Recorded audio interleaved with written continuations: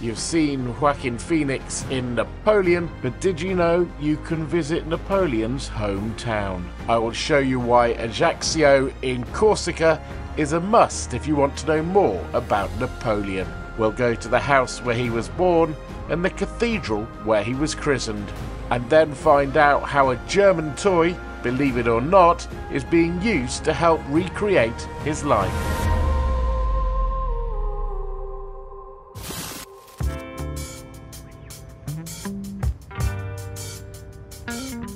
Not a bad view to wake up to. I arrived in Corsica aboard the P&O Azura.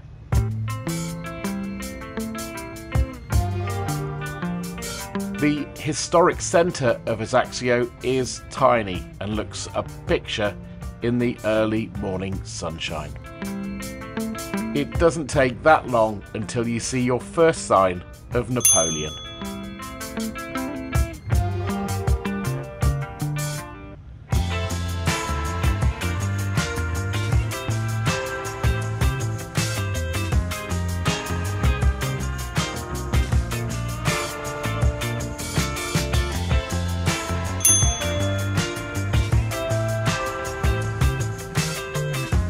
After no more than five minutes' walk from the cruise ship, I found myself in the centre of the historic town.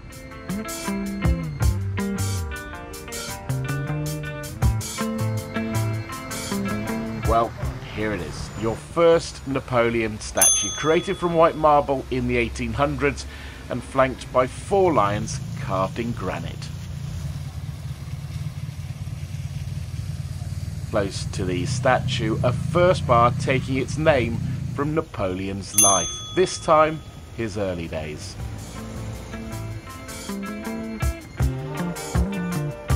The historic town is small but utterly charming. What's that? Two references to Napoleon and his life on one street corner? Consecrated in 1593, the Cathedral of Our Lady of the Assumption was where Napoleon was baptized in 1771. For my visit, having a look inside the cathedral was as easy as this looks. On his deathbed on St. Helena, Napoleon was reported to have said, I wish to be buried in Ajaccio Cathedral with my ancestors.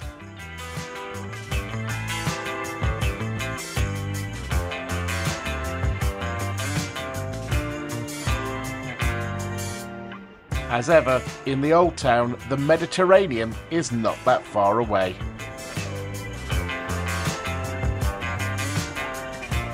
I think we've gone long enough without a Napoleon statue. This one on Place de Gaulle has Napoleon on horseback, flanked by his brothers.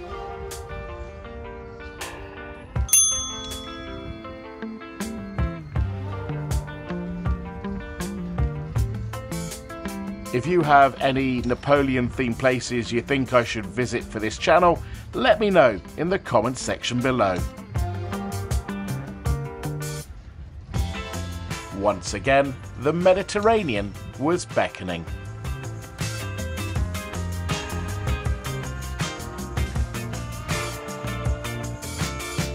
Now, though, I was hoping to see one of the town's more unusual Napoleon attractions, but it was closed. I hoped by coming back a bit later, I might get a chance to take a look inside. Instead, it was off to a queue outside the house where the Emperor was born and raised.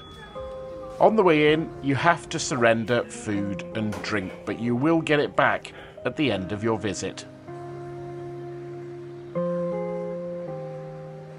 Up the stairs were the main rooms on show. Now, you may think me a little unfair, but I felt more could have been done to bring the space alive.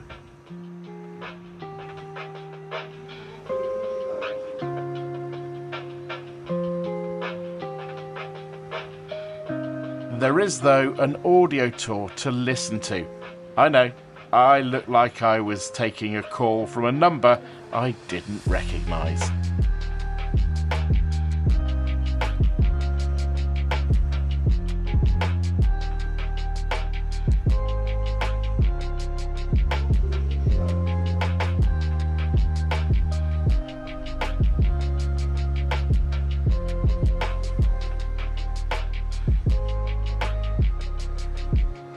You may also notice, to avoid knocking the walls and furniture, I've been asked to wear my rucksack on my front and not my back.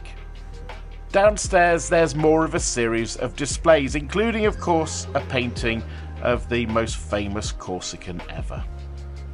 Is the house worth a visit? Well, yes it is. But as I said a little earlier on, I do feel more could be done to bring the space alive. I think we've gone long enough without a couple of places referencing Bonaparte. As we head back to the port, it'd be real helpful if you'd like this video and subscribe to the channel to help me grow it.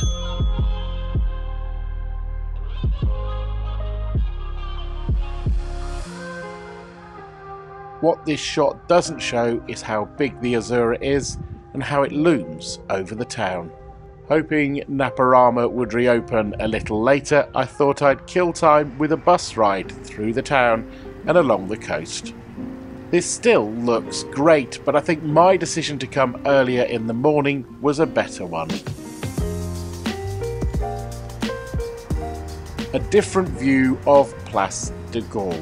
By the way, I put the location of all the places I visited in the description.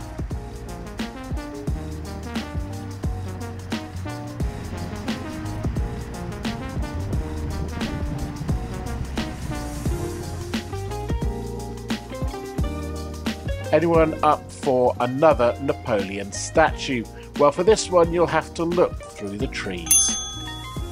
It wasn't too long before we returned to the coast for some stunning views.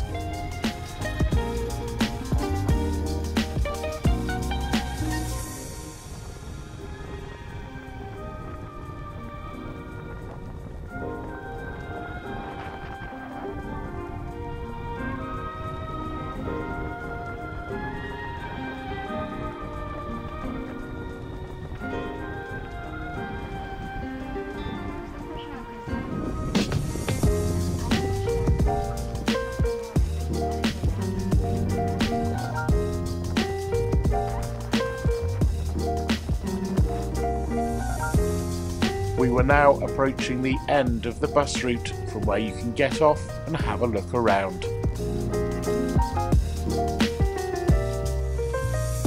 A beautiful view, isn't it?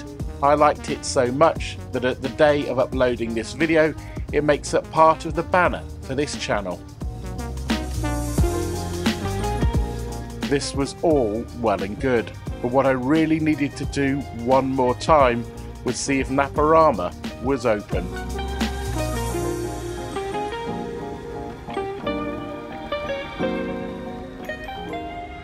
As I neared, my mood rose. The door was open, the sign was out. Could I be lucky? It is not the biggest of rooms, but the detail on display is fantastic.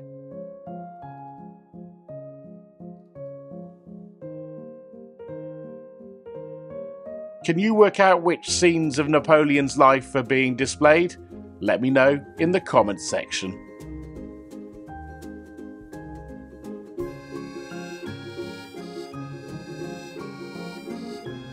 I'm not sure the makers of Playmobil ever had this in mind.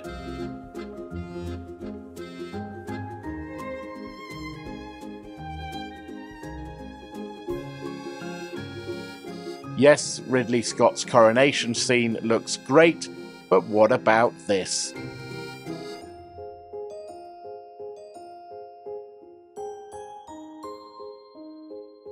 I had a great time in Napoleon's hometown.